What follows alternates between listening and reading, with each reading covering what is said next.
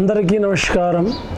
ఆ అమ్మవారి పేరు మీదకి వెళ్ళి సమ్మక్క సారక్క పేరు మీదకి వెళ్ళి అమ్మవారు ఇరవై ఏడు నక్షత్రాలు ఉన్న వాళ్ళకు రాశి ఫలాల మీదకి వెళ్ళి వాళ్ళ జన్మనామంకి వెళ్ళి నక్షత్రాలని పట్టి చిలకమ్మ ఒక కార్డు తీస్తుంది.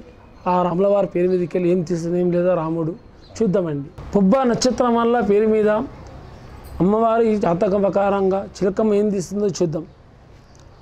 పుబ్బ నక్షత్రం వల్ల పేరు మీద చూడు చిలకమ్మ ఎలా ఉంది? చేసే పనిలో నమ్ముకున్న పనిలో వాళ్ళ కారాబార విషయాల్లో ఎట్లా వెళ్ళినా ఏ పని చేసినా భాగ్యాలు అవుతాయా? కావా వాళ్ళకు? చూడమ్మా. నిజాలు చెప్పాలి. పుబ్బ. పుబ్బ నక్షత్రం ఉన్న వల్ల జాతకంలో చిన్నవాళ్ళకు పెద్దవాళ్ళకు ఇల్లంతా పుష్పంగా ఉంటుంది. పుష్పంగా అంటే పువ్వులాగా. ఈ నక్షత్రం ఉన్న వాళ్ళకు.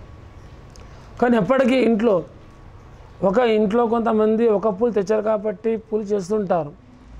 ఇది చెప్తున్నాను ఈ పూలు మన నక్షత్రానికి పట్టి నా చెప్తుంటేనేమో మీరు అనుకుంటూ వచ్చే మనసులో.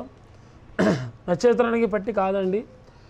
మీరు ప్రతి ఒక్క శుక్రవారం లేకుంటే గురువారం లేకుంటే సోమవారం ఐదు వారాలు ఉంటాయి ఈ ఐదు రోజుల్లో ఏదో ఒక రోజు మీకు ఐదు రకాల పూలు తెచ్చి ఇంట్లో దేవునికి పాటించండి.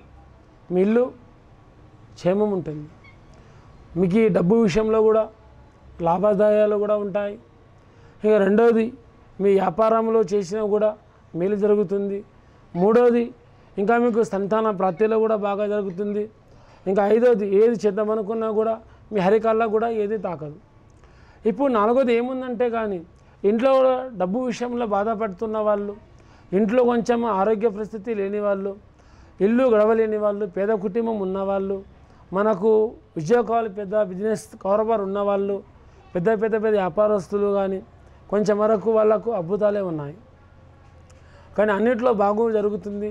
మనకు బాగులేదని మీరు అనుకుంటొచ్చు మనసులో మీ మీద ఏమన్నా చెడు దోషాలు ఉంటేనే ఇవి ఐదు రకాల పూలు మాత్రం పాటించండి. ఇంట్లో ఏ సమస్య లేకపోతే మీరు ఈ పువ్వులు పా పాటించిన అవసరం ఏం లేదు.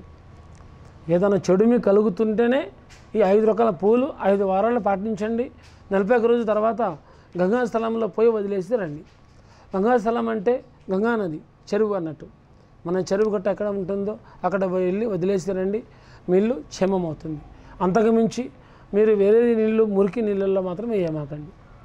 కానీ ఇందులో ఏముందంటే కానీ తమ తోడపుట్టిన వాళ్ళతోటి ఆస్తి అంతస్తు మీద ఆశపడి గొడవపడి మీరు తగ్గించుకున్నా కూడా మీ పేరు తగ్గుతుంది. కానీ మీరు మాత్రం అందులో ఉండరు.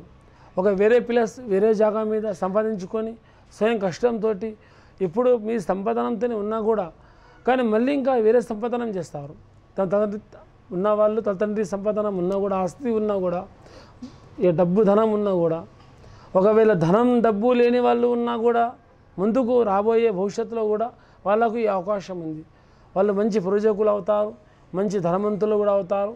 ఇప్పుడు ఒక మంచి చిన్న పొజిషన్లో ఒక మధ్య తరగతి కుటుంబం ఉన్న వాళ్ళు కూడా ఒక భవిష్యత్తులో మంచి కుటుంబం ఎదుగుతారు వాళ్ళు. కానీ కష్టంతో పైకి వస్తారు ఈ నక్షత్రం ఉన్న వాళ్ళు. చాలా బాధలు పడి చాలా అవమానాలు పడి కొన్ని కష్టాలు అనుభవించి సులభంగా పైకి వస్తారు. కానీ కొంతమందికి దీనిలో లక్కీ కూడా ఉంది. ఏ బాధ లేనిది కూడా పైకి వచ్చే వాళ్ళు కూడా ఉన్నారు దీంట్లో. ఇంతకు మించి ఏం లేదు దీంట్లో. శాస్త్ర ప్రకారం ఇంతవరకే ఉంది. అందరికీ నమస్కారం.